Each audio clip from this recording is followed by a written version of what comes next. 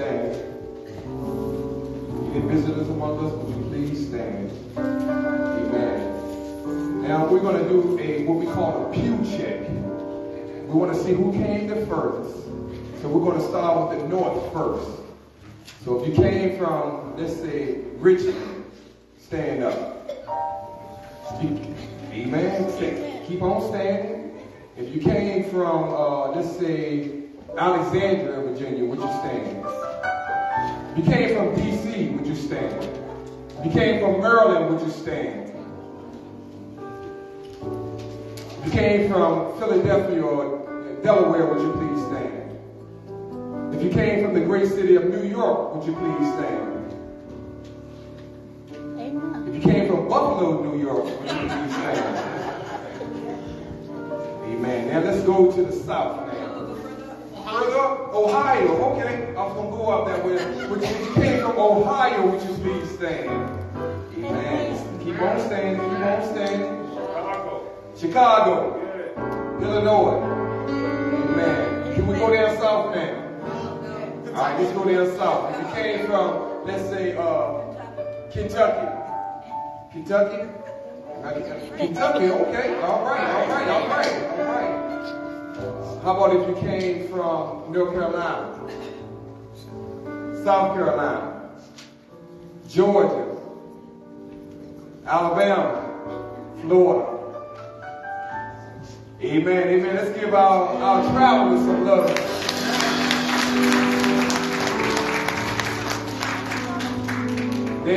If you serve in these United States, you came to see your family, would you please stand?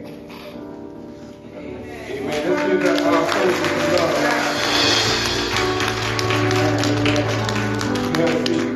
Amen, amen. This is your welcome. Uh, uh, Marmora, join me in saying, so happy to have you. So happy to have you. Please, please come again. Please, please come again. Let's give our, uh, our some love. Coming back home. Then we'll have our announcements from our church clerk. Let's give her some love as she comes.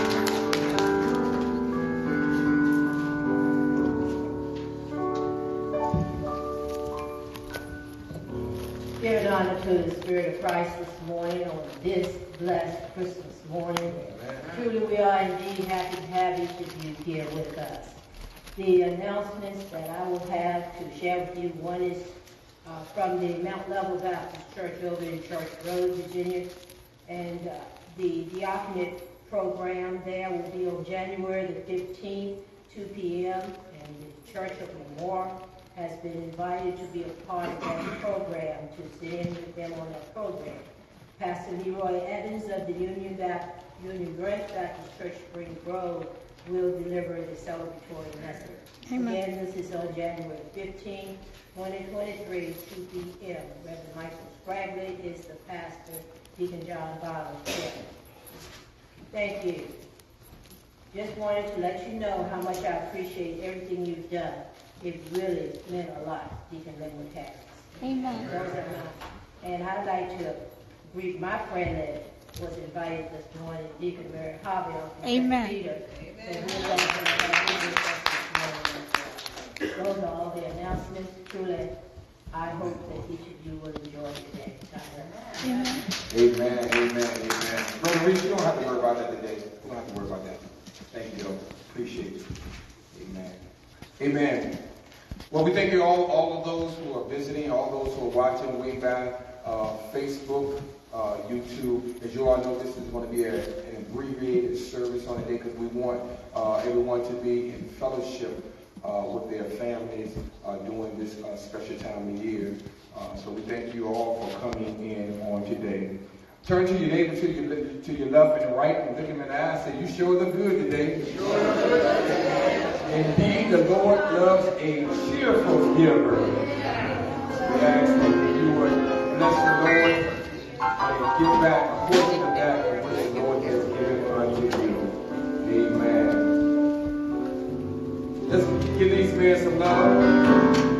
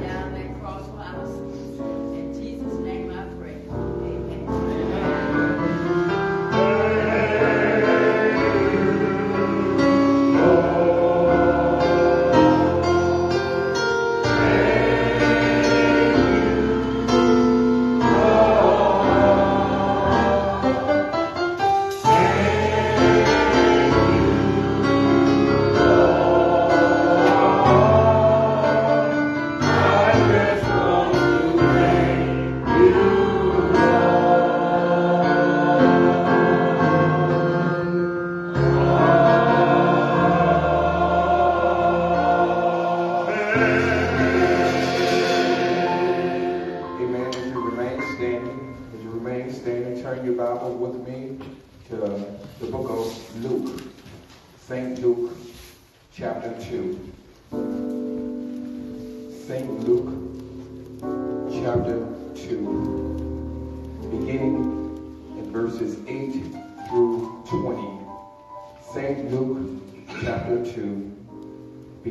Verses 8 through 20. I'll be reading the New International Version of the Bible. Yours may read slightly different. The book of Luke, chapter 2, verses 8 through 20. And it reads thusly.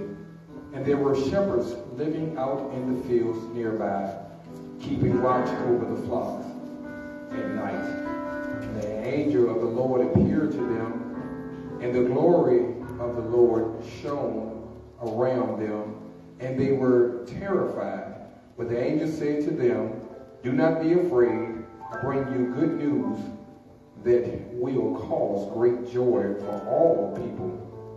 Today in the town of David, a Savior has been born to you.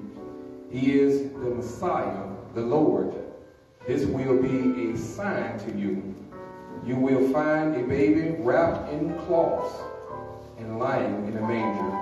Suddenly, a great company of the heavenly host appeared with the angel, praising God and saying, Glory to God in the highest heaven, and on earth peace to those who whom his favor rests on.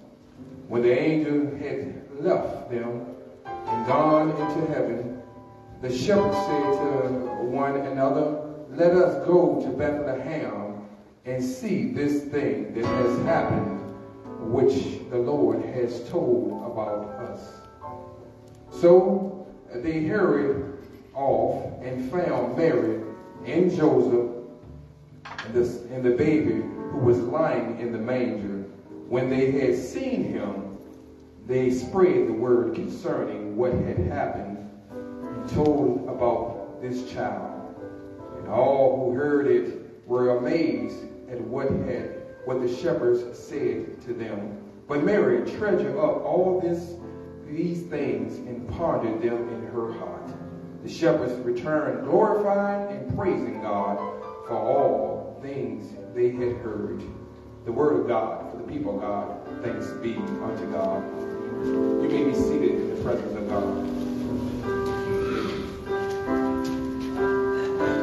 Let us ready our hearts word. Let's give these men some love as they come in.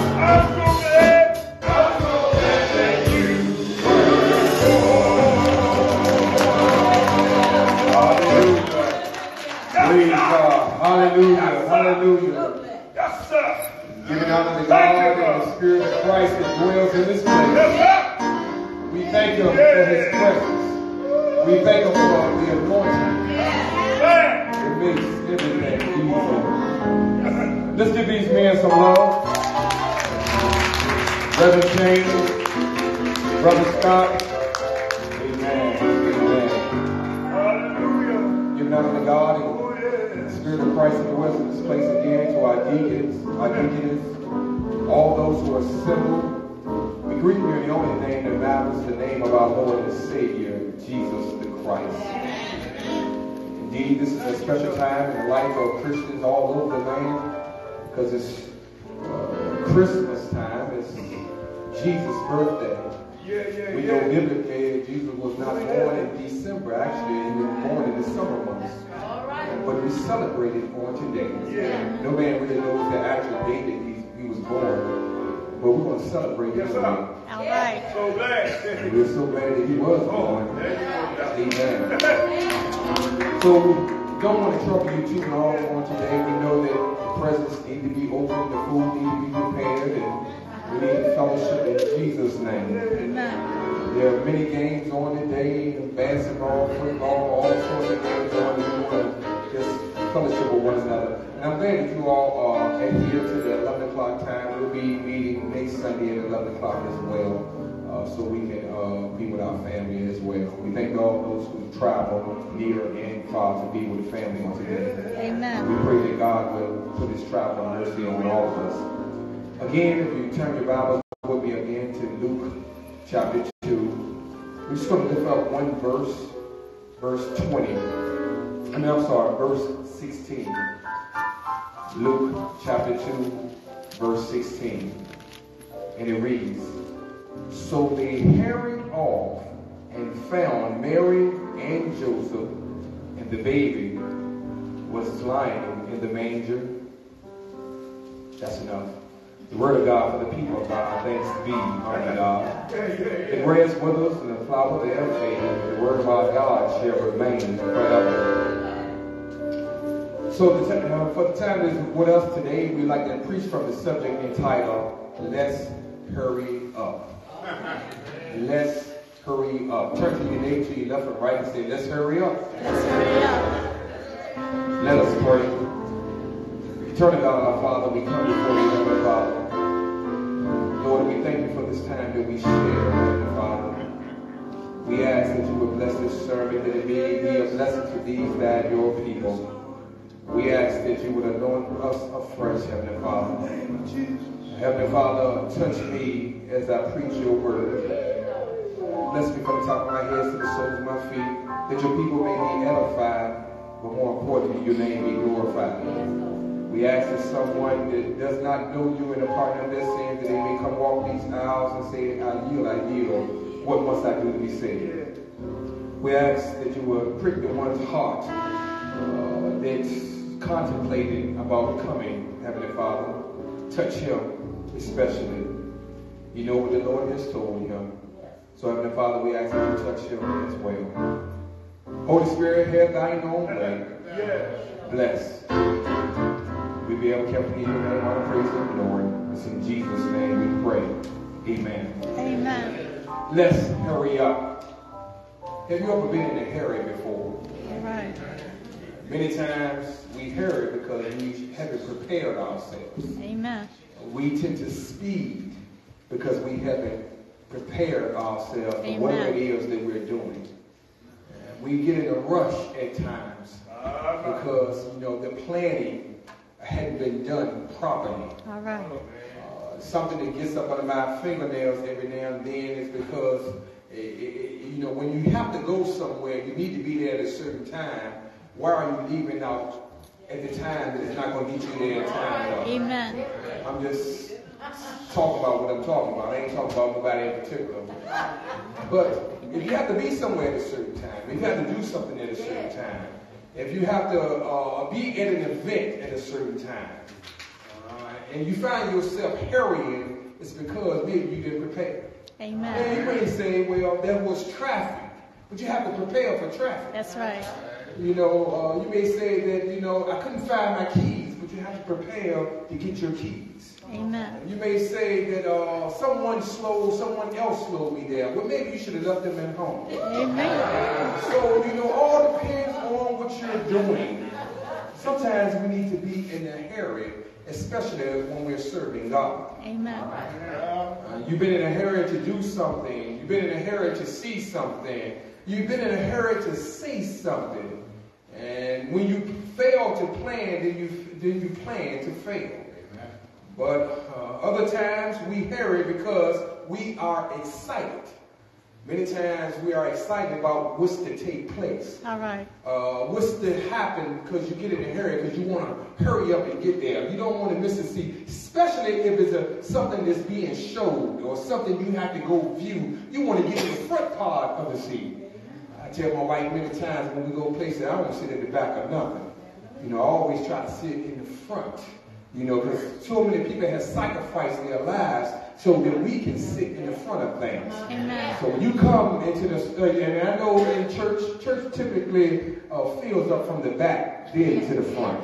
But I like to sit in the front because I want to be in the midst of the crowd. I want to be right there in the front. You all know the anointing falls from the from the, from the front and all the way down to the back. So, you know, not picking on nobody who like to sit in the back, because sometimes you have to slip out and you have to make yourself, you don't want to be seen a lot of times. So you sit in the back. But I like to be in the front of things. Not to be seen or anything like that, but I want to hear everything that has been said. So sometimes we are in a hurry because we are excited of what's to take place. We get excited about certain major events in our lives, like a new promotion on your job, like your birthday. Like today is Jesus' birthday. We're kind of excited. This is a special day. I'm glad that we weren't like some other churches, and I'm not picking on them. They have to do what's right for their congregation. But some churches even counsel today. They had their services on yesterday, and that's fine. But I, there's something about coming to church on Sunday. Amen. Something about being in the Lord's house on a Sunday uh, makes the difference to me. Uh, we get excited about major events like birthdays, like your anniversary, like graduation, like new jobs, like new assignments. But is anybody excited about hearing the word of God? All right. About hearing the word of God. Every time I tiptoe through these doors, I get excited about what the Lord is going to say to us. Amen. I get excited whenever someone utters a prayer, whenever someone gives an encouraging word in the name of Jesus. Amen. I get excited because God's presence is around us, because of the essence of God, because of the promise that God has put on our lives. I get excited. Amen. Uh, I will make, uh, we get ourselves in a hurry when it comes to serving the Lord. Because God has done so many great things for us in our lives. God has opened so many doors in our lives. God has saved our souls. God has delivered us. And so for that, we ought to give him praise. All right. For that, we ought to thank him. God has done so many great things. All right. Look at you sitting beside your loved ones. I see uh, uh, sons and, and I see uh, uh, mothers and everybody sitting together. Amen. People have come as far as uh, Ohio and New York and places, uh, uh, even right, right around here, Colorado. We have people coming from all over just for this special day. Jesus is the only one who can bring all these people together. Amen. I understand when we have stuff for grandma and granddaddy and somebody may not can come, but some about Christmas. Everybody finds a way on their on their docket to get there. Amen. So if we're going to be in a hurry, we need to be in a hurry to see Jesus. We need to be in a hurry to hear Jesus. And we need to be in a hurry to tell about Jesus. All right. Some in alliteration, we're not going to be long to see Jesus, to hear Jesus, and to tell about Jesus. Let's get in a hurry. The time has come that the baby would be born in Bethlehem. Caesar Augustus issues a decree. A decree is a order. That means you must obey it. There's no option in the decree when Caesar Augustus uh, issued this decree. That a census would be taking place. The people will report to uh, a certain area to give account of how many people are in their homes. You all know probably about a year or two ago, we had a census that was going around all throughout the nation. And the census, this is, uh, a census is not new. You know, we do it for federal aid and federal money right now. But this census right here was taken to see all who was accounted about the Romans. They wanted everyone in the household to be accounted. The people will report to their native land. Uh, so Joseph and Mary went to the home of Bethlehem because uh, he was in the lineage of David. Yes, he was related to David the king. They had to travel about 100 miles on donkey to get to their destination. And she was nine months pregnant and had to travel almost 100 miles. Can you imagine being on a donkey, traveling all that time? Brothers, we, we don't know about that, but I know some sisters know about that. She's in the ninth month. She's geared to give birth, and she has to travel because of this census. She couldn't be like, well, no, I don't feel well, and uh, you can go speak for me.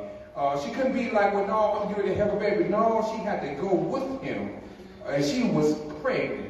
Can you imagine being uh, nine months pregnant and riding, hitting those bumps, hitting those waves, everything jumping you? Because you know, riding on a donkey is not easy. I know we got some uh, brothers who are over riding horses and things like that. That's not a, a, fun ride there. You know, it's fun to look at, to look at the animals, but to be on a donkey riding almost 100 miles. The baby is coming when they uh, get to Bethlehem. You know the story. Uh, there was no room for them in the inn. That means there was no rooms for them to stay in. Uh, there was no room. There was no. Uh, there was no bed and breakfast. There was no uh, Marriott. There was no Hyatt. There was nothing of that sort. All the rooms were taken up because of the census report. Everybody was in town. And I know typically around about October, uh, when you go during Virginia State homecoming, there's no rooms. And you can, all the rooms are sold out from down in Emporia all the way up to Richmond because of the homecoming. It's hard to find a room, so you gotta kind of put your, your mind in their, in their set. Uh, just think about going to a major event, and there's only a few hotel rooms, and you don't know anybody. And then all of a sudden, you don't have anywhere to stay. But then the innkeeper ends up in saying, well, I have a stable you can stay in. I have a barn that you can go and stay in. Where the animals stay. Because back then, uh, sometimes the animals, they would bring the animals into the house. But they stayed on the upper part, and the animals stayed there. But you can go down there and stay down there with the sheep and with the goats and things with the pigs. You can stay down there. We got a little place down there for you to stay. Just make you a little spot down there. You'll be out of the weather and you can come there. And a lot of times the innkeeper, he gets a bad name, you know. But he didn't have no, no space for them. He didn't have anywhere for them to go. Amen. And many times in our life, we feel like we don't have anywhere to go.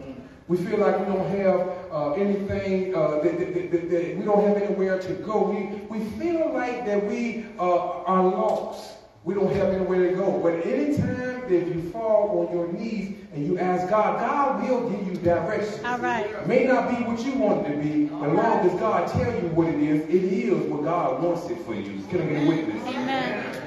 The stable had animals in there. It was a barn. It had animals in it. And Mary gives birth to the King of Kings and the Lord of Lords.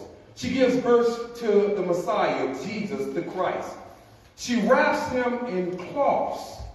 But I like the King James Version of the Bible. It said she wraps him in swaddling cloths.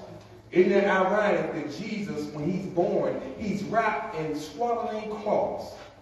But then when he goes on the hill called Calvary, he'll be wrapped again.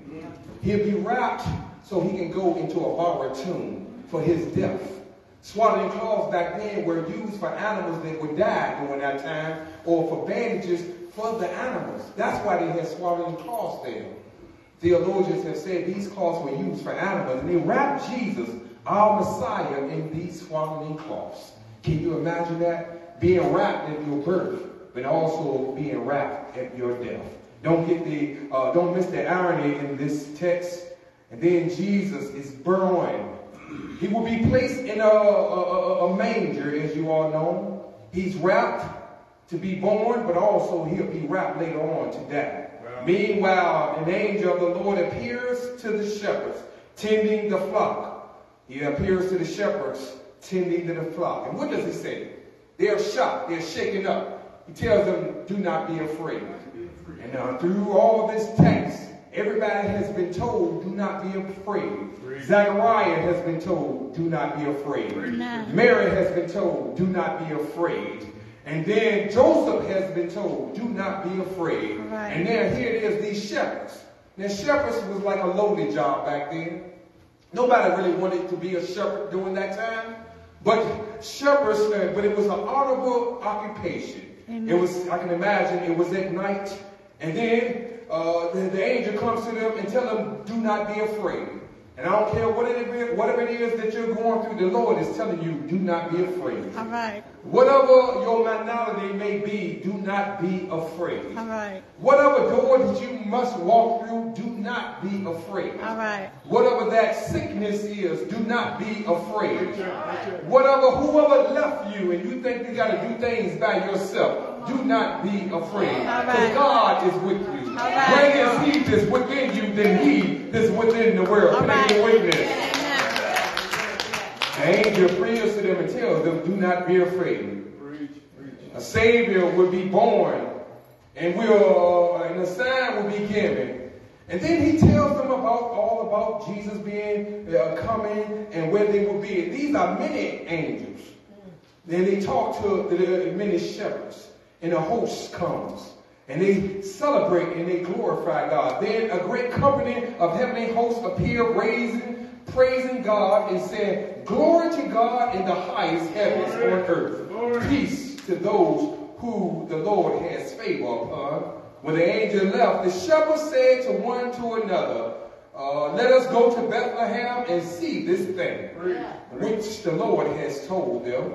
So they was in a hurry, and and they ran and they went. They dropped everything they was doing. You know how they do. They they was in a hurry, and, and if there's any other time to be in a hurry, it needs to be in a hurry when it come time to see Jesus. That's right. You can be in a hurry to get to your job, and that's fine. You can be in a hurry to get to school, and that's fine. You can be in a hurry to eat supper later on this evening, and that's fine. But anytime you want to come into the presence of God, you need to be in a hurry right. to get into His presence, to feel His power. All right.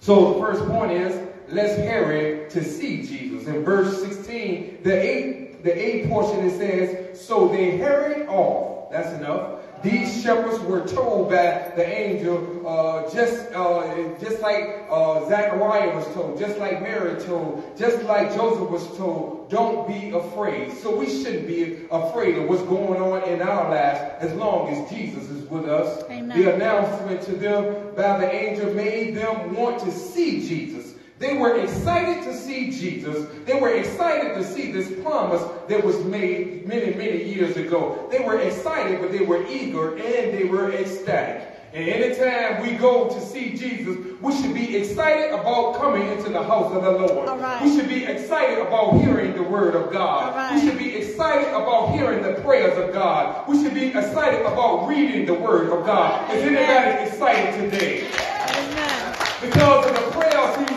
answered, are you excited? Because of the ways he's made in your life, are you excited? Right. Because of the doors that he's opened, are you excited? Right. When we come to Jesus, we should be eager. There should be no type of eagerness in your body, but you should be eager about being in the house of the Lord. I know it's just four walls, but anytime you come into this house, it's just something about being in this house. We should be eager about being in the house of the Lord. And I know many times some of us on the time we come to church is Christmas, Mother's Day, and Easter, and that's fine for some of you all. But you should be eager about getting in the house of the Lord. All right. We as parents, uh, we teach our kids, you know, don't forsake the assembly of yourselves. I mean, go to church. Even if you don't come to this church, go to church. Find your church for those who are living in New York, who's living in Ohio, who's living, find your church. You know, you when, when, when it's time to come here for Easter and Mother's Day, we know you're going to be here. But wherever you are in Maryland, find you a church. All right. I know one thing about this pandemic, it has broadened our horizon. And many people like to be on Bedside Baptist. But it's nothing like coming into the presence of God. All right. It's, not, it's nothing like coming into the storehouse of the Lord. All To give, to have fellowship with one another. So we need to be eager. We need to be excited. We need to be uh, have enthusiastic about being in the presence of the Lord. All right. When we come in, we should be eager about his presence. We should be eager about uh, seeing Jesus the Christ. God has blessed us so many ways in our lives. God has opened so many doors for us. We should be excited about what the Lord has done in our lives. Can I get a witness? Amen. But when we see Jesus, and no man can see Jesus and live, but we see Jesus many times in our lives. When he woke you up this morning, you saw Jesus. All right. When he started you on your way, you saw Jesus. All right. Clothes on your back, we saw Jesus. When you rolled down this road and you didn't get in an accident, you saw Jesus. All right. Food on your table today, you're going to see Jesus. Uh, presents up on the tree, you're going to see Jesus. All right. Everything that you got that's good and perfect comes from above. All So right. we see Jesus every single day. All right. We see Jesus when we wake up in the morning, yes. When he healed our body, we see Jesus. I say when he healed your body, All you right. see Jesus. Amen. When he saved your marriage, you see Jesus. All right. Uh, when he delivered us, we see Jesus. We need to be eager, we need to be ecstatic about seeing the Lord. Amen. So let's be in a hurry to see Jesus, but secondly, let's be in a hurry to hear from Jesus. All right. The angel premonition was true. The promise was realized. The pre-told account was seen. That meant that everything that the angel said happened. And that the city in the city of David, the Messiah would be born, and this would cause great joy. That's what the angel said. And Jesus is only a baby and has not said nothing, but he caused great joy.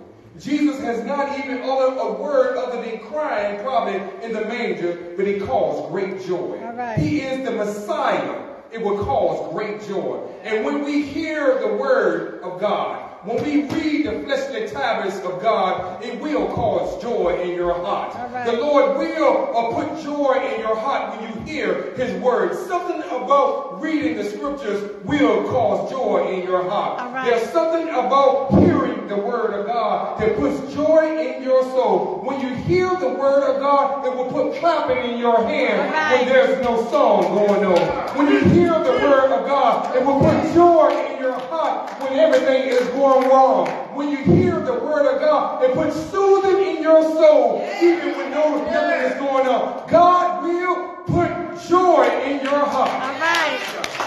There's something about hearing the word of God that makes everything all right. Not man, not me, not the deacon, but the word of God. The word of God will direct you.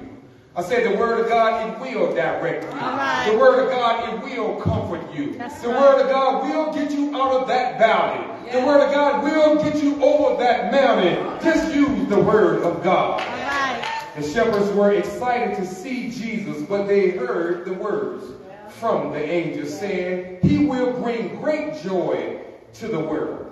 This joy I have, the world did not give it, and the world can't take it away from That's us. right. There's nothing like Jesus' joy. The joy of the Lord is our strength. That's right. The joy, the, the, the, the joy of the Lord is our salvation. Right. He gives peace in his joy. He gives grace and mercy in his joy.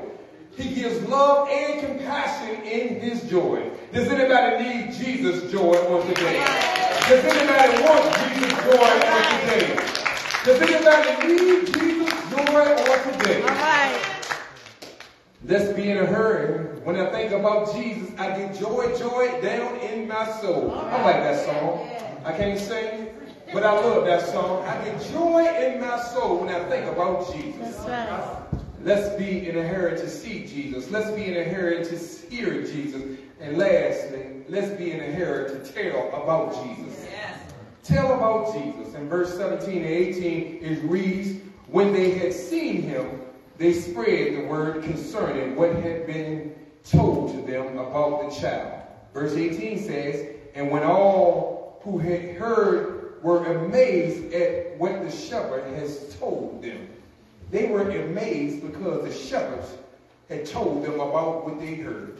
They hadn't seen it themselves, but they was amazed because of what they told them. Just think about that. When someone tells you uh, of an account, when someone tells you their testimony and you get blessed back, and you get happy, you get excited, you get enthused back because of what the Lord has done for them or what the Lord has said to them. We get, that's amazement in itself. Yes. That's not the Lord just necessarily tapping you on the shoulder, but that's the Lord using someone else to tell you about his goodness and his mercy. All right.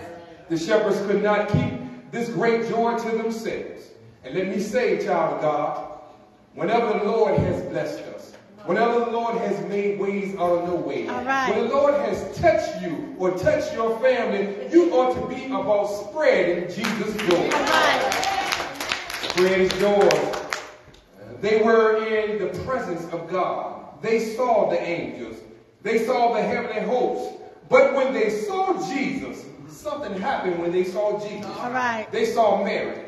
They saw Joseph. They saw the angels. But something happened when they saw Jesus. All right. And when we have an encounter with Jesus, you just can't keep it to yourself. Jeremiah was saying like this, it was like fire shut up in my bones. Right. I just couldn't keep it to myself. Has the Lord been good to anybody today?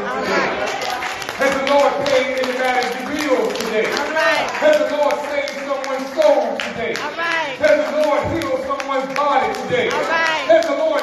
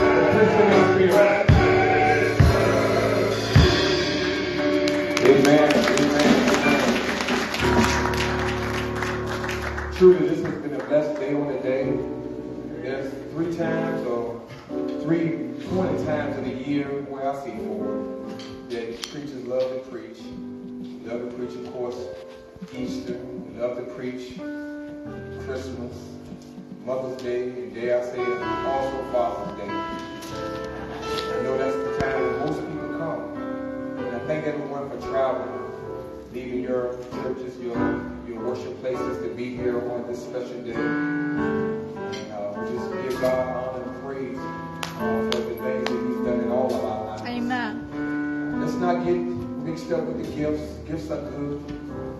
Notice that the um, the Magi, they came and they brought gifts of frankincense and myrrh. And that's where we get the gift giving part from. So when you open your gift up, think about Jesus. Just think about Jesus when you open these gifts up. We have a praise report. Yes, we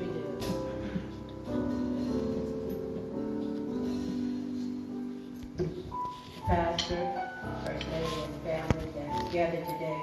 We have Brother William Friend, Amen. and he has come with a desire to be baptized once again. Amen. Hallelujah.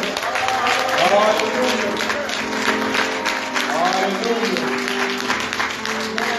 Hallelujah. Amen. All baptized believers, repeat after me with arms open wide. You've been to the water. Open your arms wide. Repeat after me. Brother friend, Brother friend, we're going to baptize you we're going to baptize you in the name of the Father, in the name of the Father, the Son, the Son, and the Holy Ghost. and the Holy Ghost. God's going to. God's gonna trouble that water. trouble that water. Welcome once, Welcome once, welcome twice, welcome twice, welcome three times welcome three times. to the body of Christ. to the body of Christ. Let's give the Lord a hand of praise.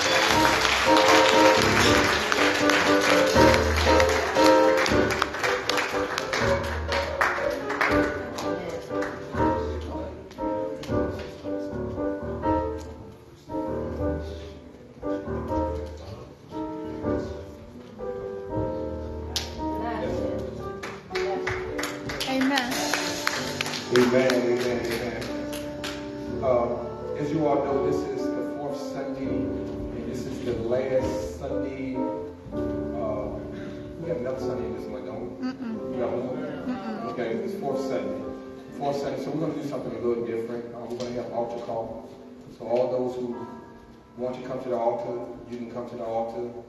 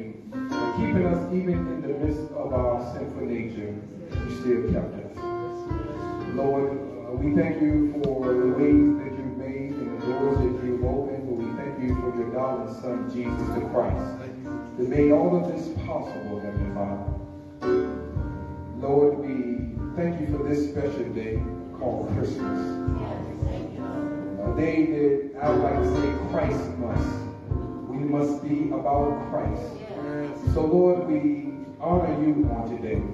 We say happy birthday to you. For you came down through 42 generations, over 2,000 years ago.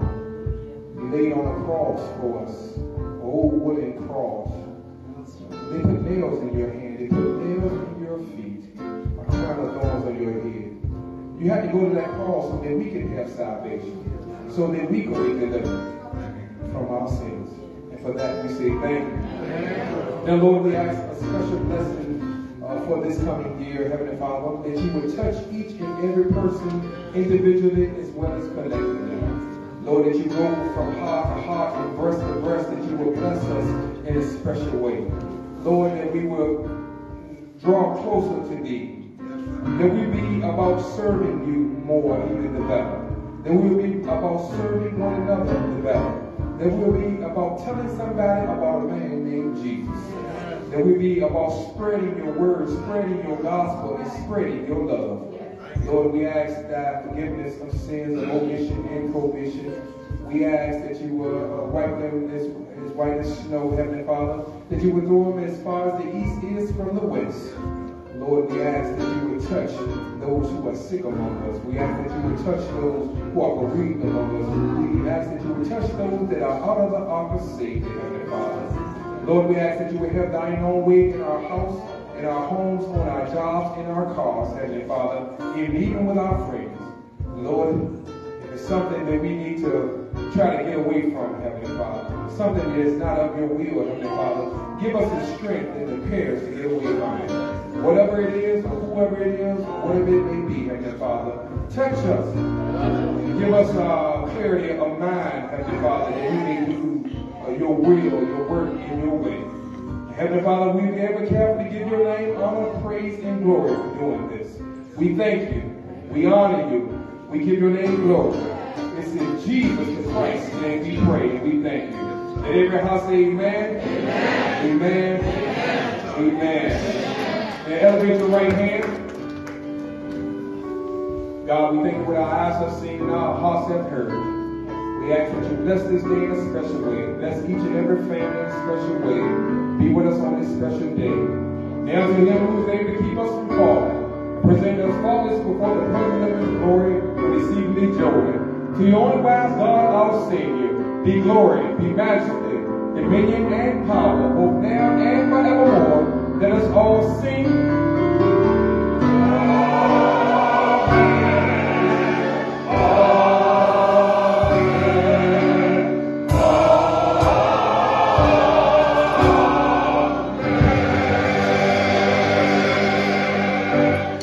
Go in peace. Me First Lady like to thank everybody for all the gifts in your car. Enjoy the rest of the day. Hey, hey, don't Merry Christmas, everyone.